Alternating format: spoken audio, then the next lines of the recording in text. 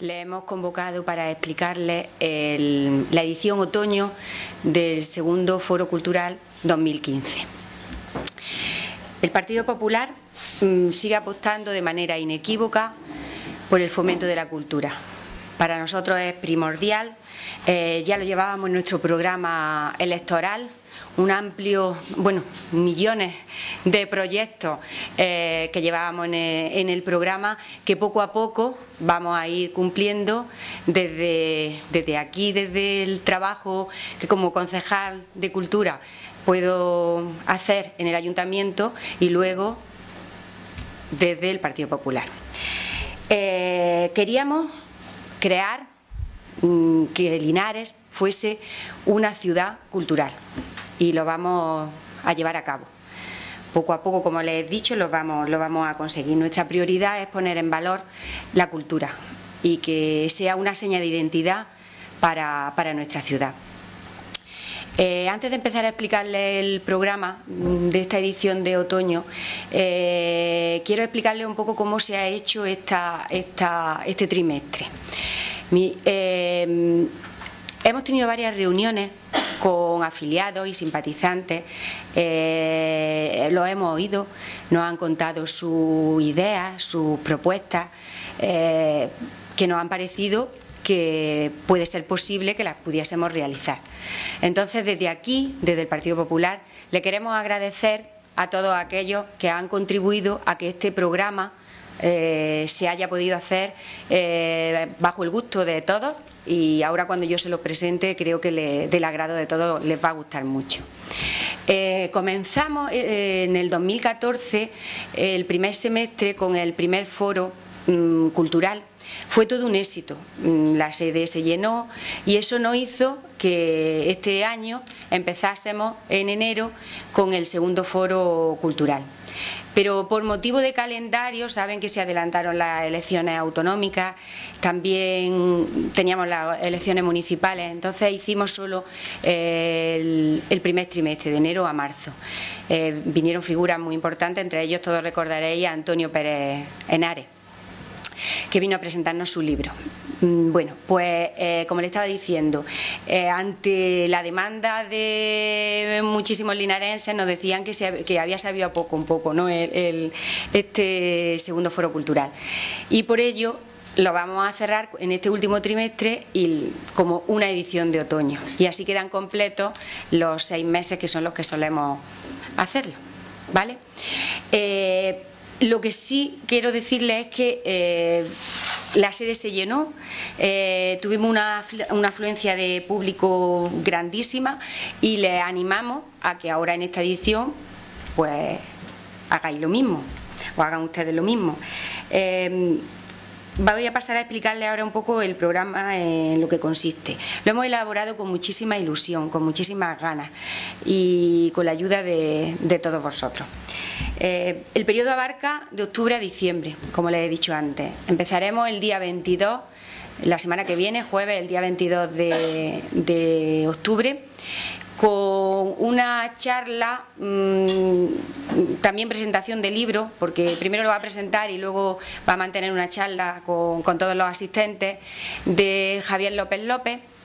El libro se llama El pudor del macho alfa eh, creo que todos lo conocéis, un periodista, articulista y nos va a hacer una, mm, bueno, mm, un poco eh, a su manera, que ya veréis que es una manera muy particular, mm, nos va a hablar sobre la sociedad actual eh, desde el punto de vista político, ¿no? pero de una manera irónica. sobre todo nos va a hablar de, de, los nuevos populismos y, como él mismo dice, Podemos y otros verbos irregulares. Luego pasaremos en noviembre, eh, vamos a contar con la magnífica presencia de alguien muy conocido, muy famoso, eh, que es Teresa Viejo.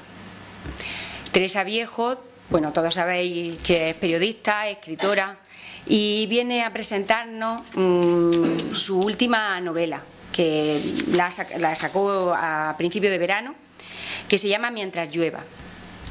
Teresa ha creado una novela, en este caso, muy potente, eh, hipnótica, mm, de suspense, mm, de sorpresa, ¿no? en la que la protagonista va a luchar, ya lo conoceréis, eh, por rehacer su vida.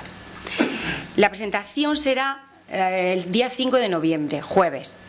Teresa Viejo mm, en el momento en el que nos pusimos en contacto con ella, no tuvo, vamos, es que no lo dudo, no tuvo ningún problema en, aceptar nuestra invitación para venir aquí a, la sede y desde aquí públicamente le queremos agradecer que, venga porque para nosotros es todo un honor tenerla aquí.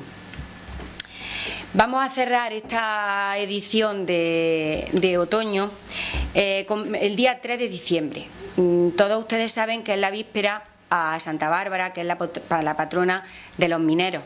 Y entonces hemos creído conveniente este día porque eh, queríamos contar con la presencia de Antonio Merino Fernández, profesor de filosofía, licenciado en psicopedagogía, diplomado en historia, miembro del patronato del Museo de la Carolina y del Consejo Local del Patrimonio. Y nos va a hablar sobre el nacimiento y florecimiento de la simbiosis minera entre Linares y la Carolina.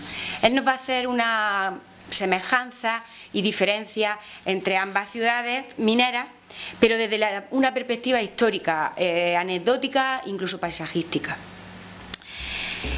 Pues esperemos que esta edición de otoño tenga la misma acogida que han tenido las anteriores. Mm, vamos, estamos seguros mm, que sí, porque nuestra oferta es interesante, amena y nuestras puertas están abiertas para todos. Mm, lo que queremos es ver nuestra sede como en las ediciones anteriores llena y que una vez que entren satisfagan sus expectativas ante lo que aquí se van a encontrar ante las actividades que, le hemos, que hemos organizado para el disfrute de todos y recordando siempre que el Partido Popular va a seguir apostando sin lugar a dudas por, la cultura. Eh, nuestras ganas son tantas que, bueno, les puedo adelantar aquí que ya estamos preparando el tercer foro cultural 2016, que se iniciará en enero, será el semestre completo de enero a junio, eh, la que eh, muchos de los linarenses ya nos han empezado a decir cosas que podemos hacer, lo hemos escuchado, hemos hablado con ellos y ya tenemos como no tenemos el calendario fijado entero, ya en enero, a primero de enero, lo, daremos a conocer. Pero para que vean que no, que no paramos de trabajar y ya tenemos casi completo la tercera edición. Ya concluyo diciéndoles que todas las ponencias se van a hacer aquí en la sede del Partido Popular, que serán a las 8 de la tarde, en la calle Menéndez Pelayo número 26. Eh, hemos hecho carteles que aquí tienen algunos mm, para difundir este, este foro y además a través, todos lo saben ustedes, que a través de las redes sociales no paramos y lo difundiremos y iremos convocando eh, cada uno de los días para, para irlo recordando. Pues muchas gracias a todos. Si tenéis alguna